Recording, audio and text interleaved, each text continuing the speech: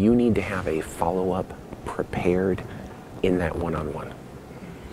I'm going to give somebody a free evaluation, and oftentimes it's not going to be coordinated through the person I'm sitting across from. Most of the times, I'll have a sample email that'll say, Look, I'd like to send you this email. It thanks you for the show, this, that, and the other.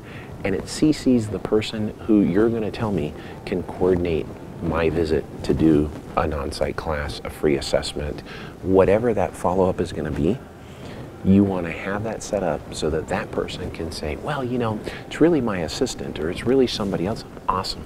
I'd like to send you an email and I'd like to copy your assistant so she knows we talked and so she knows that we're going to set up a follow up and etc. Can we can we do this? If worse comes to worse and they say, well, then I'll send you the email. Can you please forward it to her? That way it's all taken care of. It's got to be pre-packaged. You've got to know what you're doing, how you're doing it, and you've got to have that person have the easy ability to say, okay, yeah, that sounds good.